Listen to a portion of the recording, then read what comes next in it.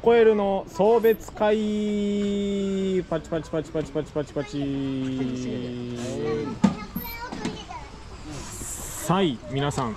さいさいえー、先日皆さんに告知いたしましたようにコエルちゃんは、えー、1月の10日、えー、あれは水曜日かな？水曜日にコエルちゃんは王子動物園さんの方にお引越しをします。でコエルちゃんがお引越しする前に一つイベントを企画しました。てんてれででってってってん。はいコエル送別会。2024年1月2日火曜日から1月7日の日曜日10時と14時30分に、えーコエルの送別会を行います、えー、送別会の内容は、えー、コエルとお写真を撮りましょうということでチェキ1枚1000円、えー、コエルちゃんとツーショットで、え最後に浜水にいるコエルちゃんと、えお写真を撮れるというイベントでございます。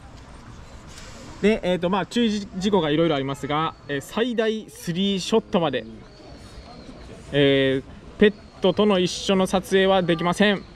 でお触りもちょっとできません。ただコイルから触られた方はラッキー。多分触ってきます。おそらく触ってくることでしょう。で、えっと、イベントはですねコイルの規模により、えー、中止する場合がございます。はい。コイルが、えー、じゃあここまでのお客さんで終了ですっていうのをコイルが決めるという斬新な送別会でございます。で、えー、これですね面白いのがチェキ1枚1000円からとなっております。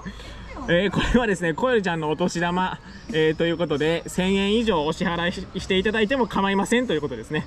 ただ、取れ、えっ、ー、と、1枚1000円から取れるっていうことですね。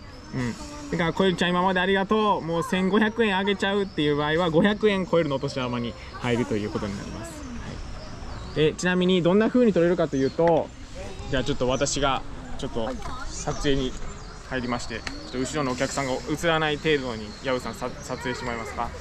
撮影。はい。えっとはい。ここういうことです。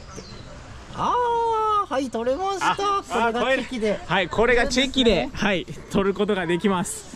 え今はちょっとひげが私の左指に当たりましたがこんな感じで コエルちゃんから、えー、触れてくれることはあります。ただこうやってああコエルちゃんよしよしよしこれはダメですこれはダメでございます。はい、一緒にお写真を撮りましょうという、えー、そういったイベントでございます。で本当にコイルがあとうちに折れるのがえっ、と12日か？